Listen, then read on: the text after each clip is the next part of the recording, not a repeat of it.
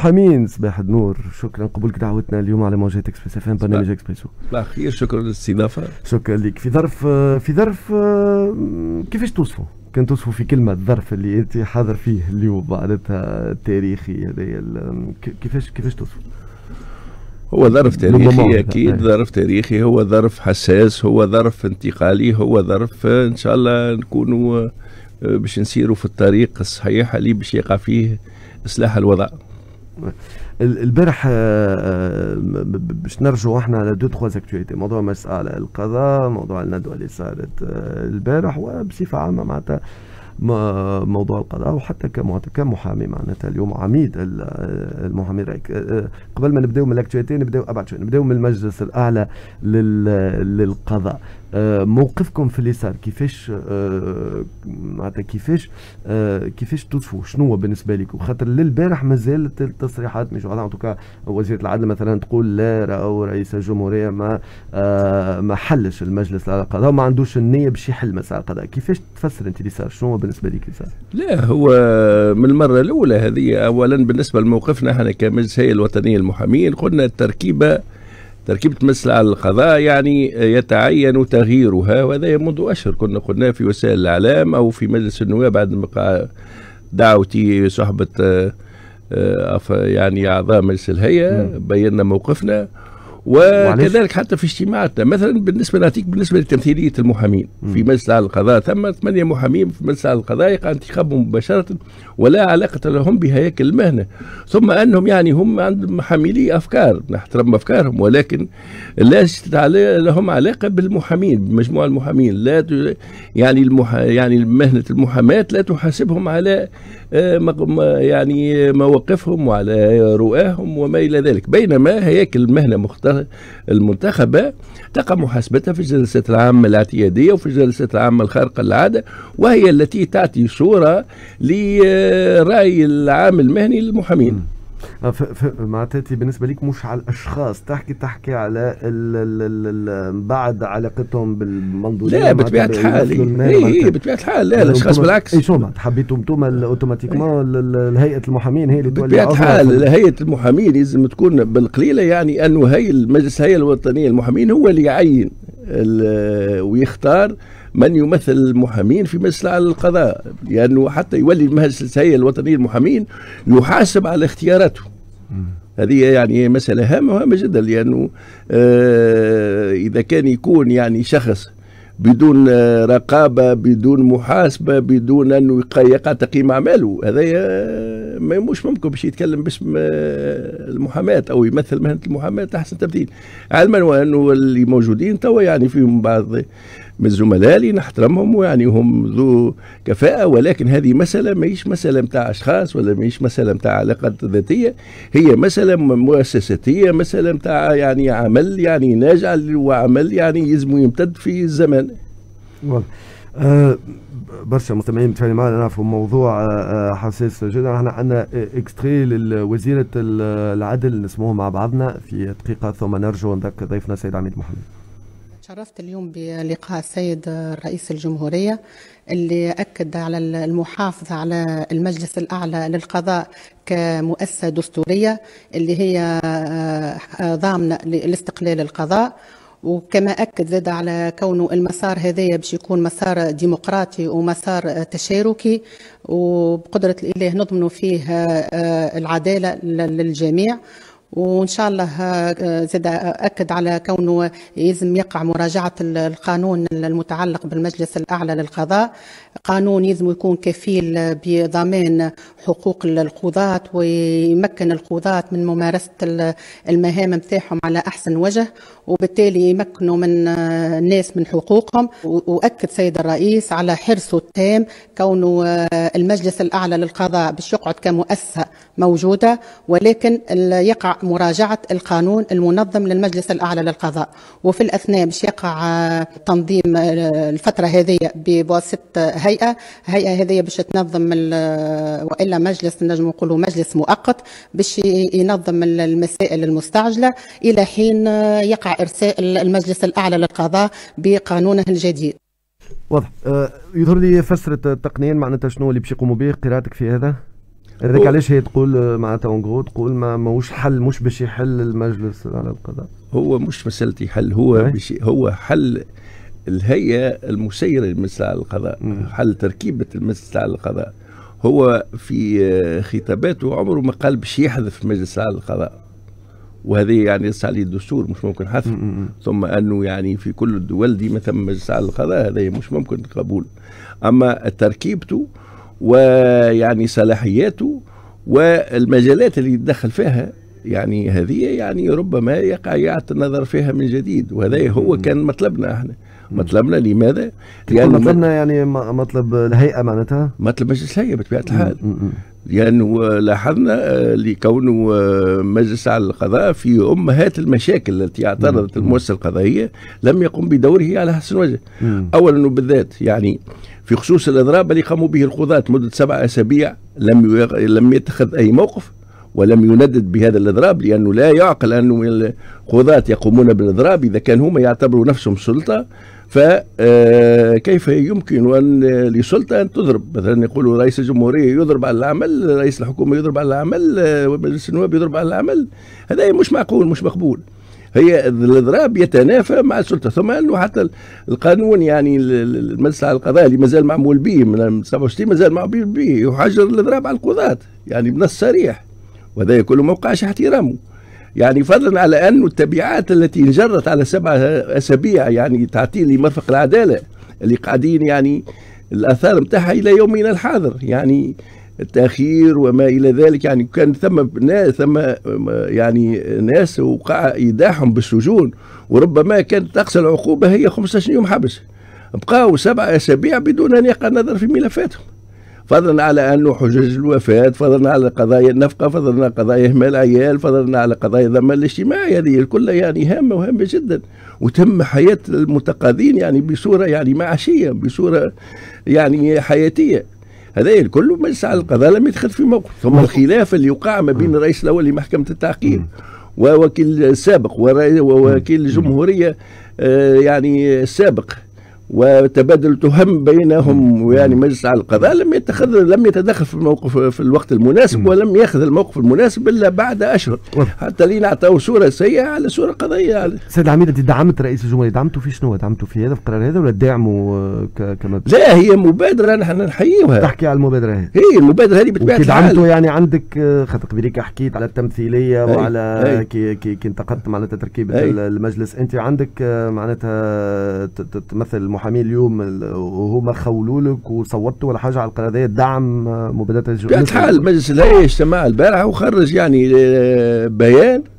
المجلس الهيئه هو الذي يعني ينطق باسم المحامين. خرج بيان واضح في المسألة هذه ويعني لا على فكرة قبليك قلت تعبير على أفكار وآراء. هل المحامين الكل موافقين على دعمكم معناتها؟ باش تلقى أنت محامين موافقين بنسبة 9000 محامي مش موافقين أكيد يعني مش تلقى مش تلقى بالقليلة 8000 محامي موافقين. فهمني هذا كذا. اللهم إلا إذا كان إنسان عنده مواقف سياسية معينة. أما إذا كان إنسان ينظر منظر مهني مهني.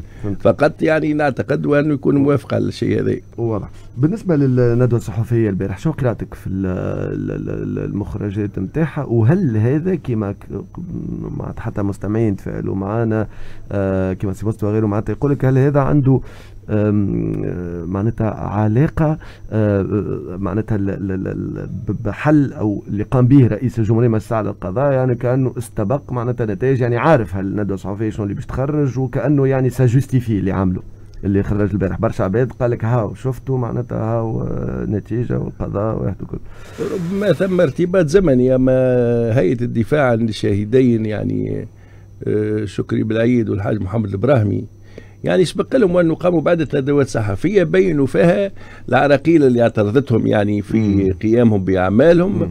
وكل من يقع تقدم في الأعمال إلا ويعني يقوموا بندوة صحفية وكذلك بمناسبة يعني ذكرى استشهاد آه، الأستاذ شكري بالعيد كانوا دائما يقوموا بندوة صحفية يبينوا فيها يعني آه، مآل القضية وإلى حد أي حد وصلت القضية. وبالتالي يعني أعتقد أن الندوة الصحفية اللي قامت بها هيئه الدفاع تندرج في هذا النطاق خاصة وأنهم يعني حسب ما صرحوا به انهم يعني بعد قيامهم باستقراءات واستقصاءات وايجاد مؤيدات وأبحاث ويعني الحصول على قراء وما إلى ذلك يعني الأبحاث تقدمت بشكل كبير وبالتالي يعني حسب ما قالوه أنه آه يعني لهم من المؤيدات اللي باش يقدموها للمحكمة وبطبيعه الحال المحكمة هي التي التي ستبت في هذه المؤيدات وستبين يعني موقفها بالصورة النهائيه.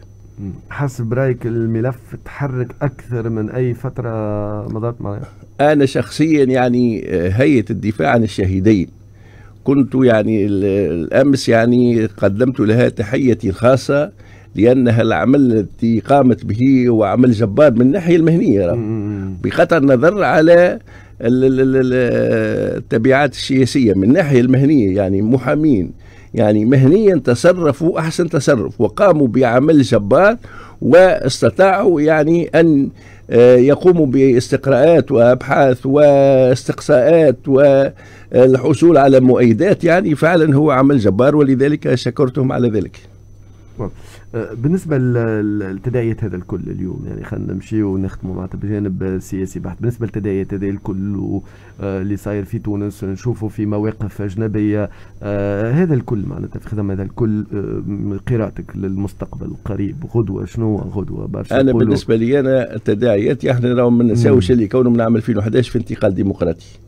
ثم أنه في 25 جويليا وقع اتخاذ إجراءات استثنائية تدابير استثنائية آه، تبعات آه، يعني تبعها الأمر آه، اللي صدره رئيس الجمهورية في 22 سبتمبر من سنة 21 كل هذا يعني يجعلنا وأننا يعني في مرحلة تكريس لمرحلة الانتقال الديمقراطي. أكيد هناك انتظارات كبيرة للشعب التونسي. انتظارات كبيرة لأنه الوضع الآن لا نحسد عليه ويتعين يعني إيجاد الطريق السليم التي آه، ستخرج تونس من عمق الزجاجة.